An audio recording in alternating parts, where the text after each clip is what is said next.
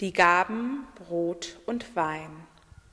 Diese Gaben sind für uns Christen sehr besondere Gaben. Das zeigt auch die Farbe der Schale und des Kelchs. Denn diese sind meist in Gold. Das hebt die Besonderheit hervor. Diese Sachen werden in einem großen Tresor in der Sakristei aufbewahrt. Hostie. Die Hostien werden in einem Schrank in der Sakristei aufbewahrt und vor dem Gottesdienst in eine goldene Schale gelegt. Kelch.